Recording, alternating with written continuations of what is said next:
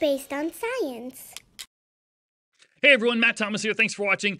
So, over the past five years, I've researched, recorded, and sent out over 100 videos highlighting the best teaching strategies based on neuroscience and behavioral psychology. And the comment that I get the most, no joke, is Hey Matt, great, we love these. Thank you so much. I've saved your emails so that I can watch the videos later when I have time. And then when I'll when I'll you know see teachers, they'll say, ah, I still got like a few videos to watch. I've got them saved.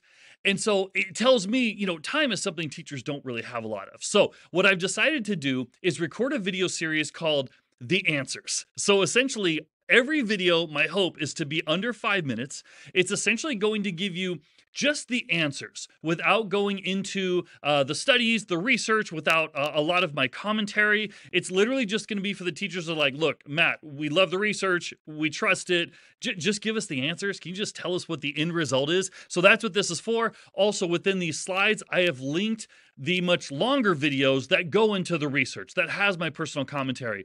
Um, the but the point of this series is, hey, we got five minutes to listen to this. Can you just give us the answers? So that's what this is going to be. Here's part one, uh, and I'll have broken this up into multiple parts.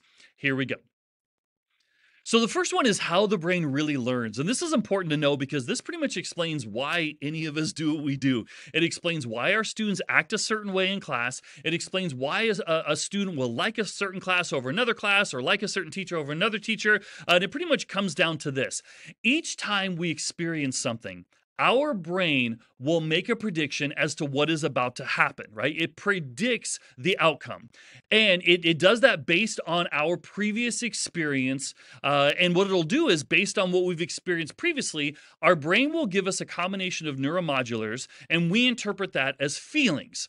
So ultimately, if you have a student that has not had a good experience in math class, before they come into class, the brain is going to predict that this is not going to go well and we need to protect ourselves. And so the brain will send the person a combination of neuromodulators and they will probably come into class not feeling very good.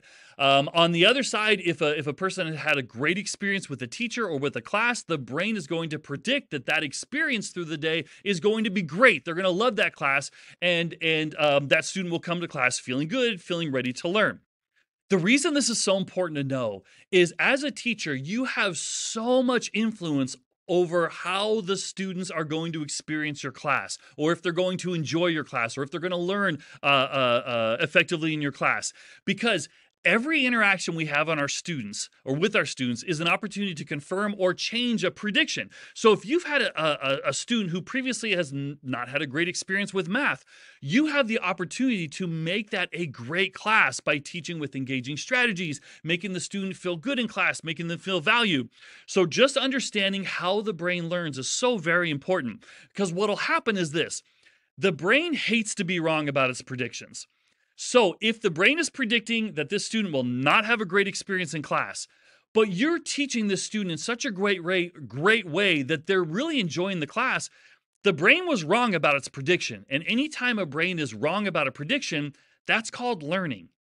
And that will change how the brain thinks uh, uh, uh in the future regarding, you know, uh, coming to the class. That's brain plasticity anytime uh, uh, the brain is wrong about a prediction and it starts to change its way of thinking, that's brain plasticity. So from then on, the person who did didn't think they were going to have a great experience in class will start believing that they can do well in class because they really enjoy that class. So please know that every interaction you have with the person is an opportunity to either confirm a prediction that they have or change a prediction depending on their experience. So the next thing is how the brain remembers. And essentially, the brain will only remember something if it finds the value in what it's learning and if it finds a way that it can apply it to its real world. So essentially, it, it works like this whenever a person learns something, a neural pathway is created in their brain if the, the the person cannot find value in that the brain is going to start forgetting the information essentially deleting the information usually within 24 hours. So if you want the students to remember the information you're teaching make sure that you are reteaching it and not just over a few day period of time right? Throughout your lessons throughout the year take that information and and, and reapply it somewhere. Show the students the value uh, and how they can apply it in the real world. Create some type of project for them to be able to apply that information.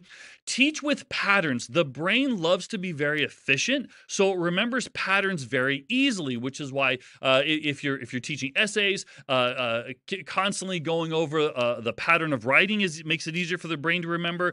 Um, if you're uh, using rap, rap is a great way to have people remember things because the brain likes that pattern of music.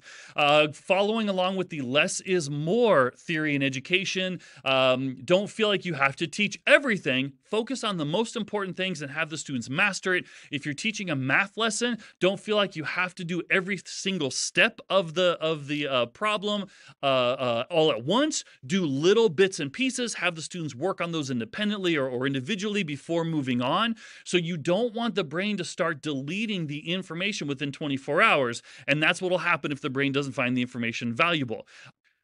So next is what is the most effective seating arrangement for your class? So I looked at rows versus clusters or table groups if you like and U-shaped. And what I did was, uh, first of all, I haven't recorded the full video yet, so I will link the full video to this uh, slideshow as soon as I have recorded the full video. I'll just give you the, the, the quick uh, uh answers to it. Essentially, I looked at the stu- I looked at multiple studies within these documents. There were multiple studies within those, um, and I looked at. I didn't look at quotes. I looked at documents that only had studies that were done, not people's opinions about this. So, what the studies generally all came to the conclusion of this the choice of seating arrangement should align with specific instructional goals to optimize learning outcomes. Essentially, the way you should arrange your class is based on what you're doing. It's based on what you're trying to accomplish, what your goals are. So, quickly, in rows, generally, you want to have your students in rows if they're doing individual tasks. If they're focusing more on logical reasoning, rows showed more improved on task behavior. Define that however you will. Uh, and also with rows, the quantity of individual work improved without sacrificing quality. Um, and when it came to cluster seating, there was more of a beneficial for brainstorming, interaction, group work, and, and questioning the teacher. Uh, it was more beneficial to have them in clusters for students who who uh, define themselves as as lonely or students that were not used to being alone. It's better to have them in clusters. Uh, the one thing, uh, clusters did not always correlate with improved academic achievement. So ultimately, the way I would do it in my class is I would always keep my students in rows and then teach them to quickly transition into pairs or a higher number of group members. It just it was is better for me at the beginning of the year. I would teach them how to quickly move into the to to the uh, the groups um, and just spend a few seconds doing it.